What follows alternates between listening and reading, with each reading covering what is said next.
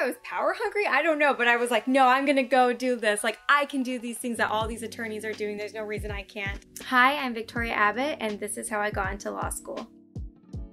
Some of the best things is just the actual learning environment. I really enjoyed my classes. I enjoyed the internships I took on. The other thing that's so great about law school is you build a community, you make really good friends. It is a competitive environment, but still to this day, one of my very best friends is someone I met in law school. The worst part it's very mentally taxing. I think the competitive nature of law school and competing against your colleagues and peers, the workload, it's just a lot to balance. Managing your cool during law school is the hardest part.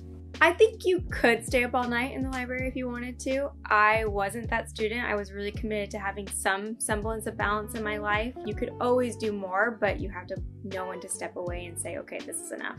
It wasn't until I was in undergrad and I worked for the university president. In that same office, there were a few individuals who also had law degrees and they had law backgrounds and then had integrated into higher education and were using their law degrees not to practice law but in other capacities.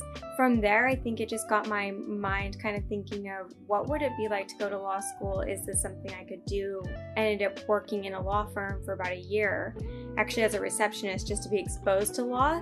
And after that year, I was sold. I was like, okay, I'm, I'm gonna jump in, I'm gonna do this. I thought I'll get the law degree and I probably won't practice law. I'll go do something like in higher education. Maybe I'll become a dean. I worked for the public defender's office. I worked for the city attorney in Santa Ana. And then I did a family law externship and I loved it. I just love that family law has such a human connection.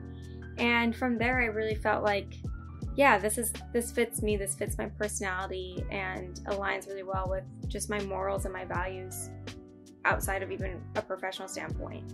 And now I'm in it and I love it and I can't see myself really doing anything else. I think my ultimate goal is to to continue to improve and to become a better attorney. And people see family law as just drama filled, or I don't know. I think there's these misconceptions, but the truth is, is unfortunately, divorce touches a lot of people and a lot of families, and it's an unfortunate part of our lives. But if we can just make it a little bit easier for our clients, that's that's what I want to be able to do. You know, my advice uh, with respect to going to law school would be to really think about it, explore your options, um, research the schools, make sure the school has a fit, like the right cultural fit for you. Different law schools offer different cultures. I would also say to, if you're gonna do it, commit. You know, believe in yourself. There's gonna be times where you doubt whether or not you can do it, but I tell everybody this who asks me about law school you can do it. You just have to be willing to put in the work, put your head down, and get it done. And that's really my that's really my advice.